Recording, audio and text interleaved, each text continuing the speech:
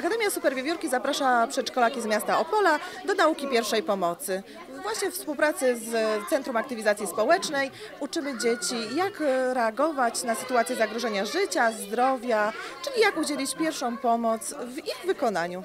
Bazujemy na ich entuzjazmie i na zabawie. Chodzi nam o to, aby one zauważyły, że są w stanie działać, bo oczywiście jest to podstawa podstaw pierwszej pomocy, ale dzięki temu, że one się tego uczą, później jako starsze osoby, jako młodzież, młodzież szkolna są w stanie już bazować na tej wiedzy, rozwijać ją, rozszerzać i przede wszystkim wierzą w swoje możliwości i wiedzą, że mogą w sytuacji zagrożenia zareagować. Co miesiąc na stronie facebookowej oddziału rejonowego PCK w Opolu ogłaszamy harmonogram naszych zajęć na dany miesiąc.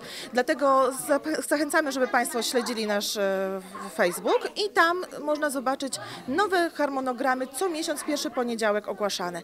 Wtedy, gdy pojawi się termin, można się zgłaszać na wybrany przez przedszkole termin na formularzu zgłoszeniowym, które wszystkie trafiły już do przedszkoli z miasta Opola. Nasi wolontariusze to są młodzi ludzie, którzy sami są w procesie jeszcze kształcenia, ale już na takim poziomie, że są w stanie przekazać wiedzę e, tym małym dzieciom.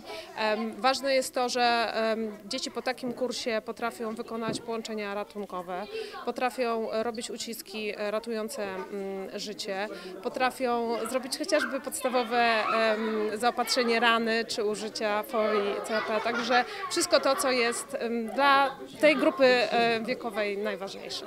Budowanie świadomości od najmłodszych lat jest ultra ważne. Powinno być to wpisane w cykl edukacyjny. E, Wszystkie czynności, które e, pomogą komukolwiek uratować czyjeś życie lub zdrowie są e, no, podstawowymi umiejętnościami, tak jak czytanie i pisanie, które powinniśmy nabywać. Jest ciekawe te różne zadania.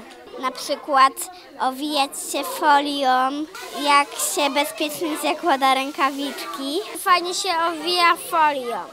Pani się owija folią, a wiesz dlaczego? Wytłumaczyli ci wolontariusze, dlaczego to jest ważne? Że jest ciepło i zimno. Nie jest wtedy ciepło i zimno. Na przykład badamy takiego e, smoka. I, I dają. I bandaże. Smok sobie złamał nogę i się owija bandażami i plastrze się przykleja. A co jeszcze będziecie robić? E,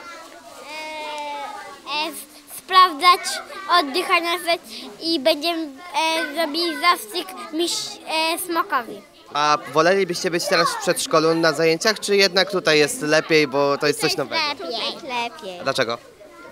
Bo tu jest fajnie i się można uczyć wiele.